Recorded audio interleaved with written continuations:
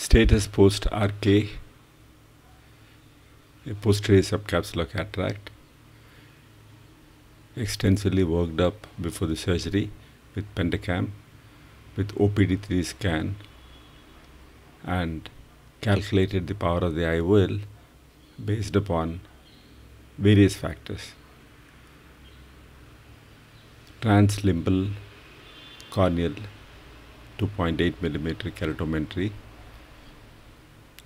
visco in the anterior chamber, tunnel floor entry technique of performing continuous capsulorhexis. Note that the chamber is steady, it's not shallowing by leaking of viscoelastic, so control on the rhexis progression is very good. It's a high myopic eye.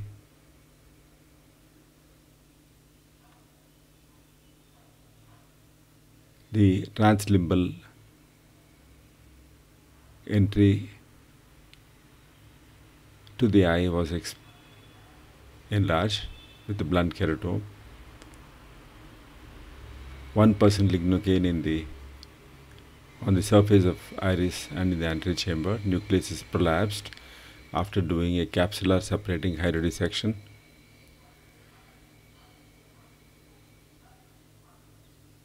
Supported by the mini vectis,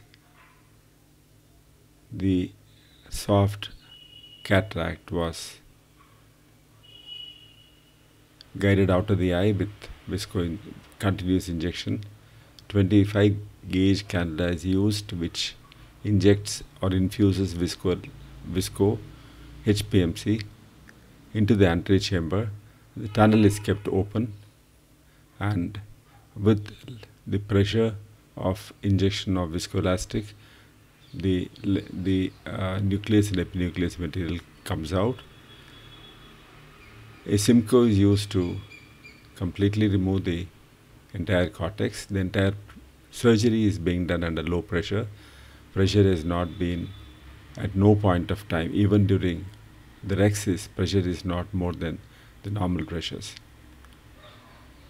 Note that the zonules are not stretched or pushed or pulled in any directions throughout the surgery. It's most friendly to the endothelium as well as to the zonules. The tunnel that we have made produces about half diopter or even 0.75 diopters of astigmatism depending upon where I have entered. Here I have entered beyond, little beyond the limbus and there is a very tiny conjunctival flap there. IOL is injected into the eye and positioned horizontally so that the haptic optic junctions lie at 9 o'clock and 3 o'clock positions. The entire cortex is aspirated and the surgery is completed. Thank you.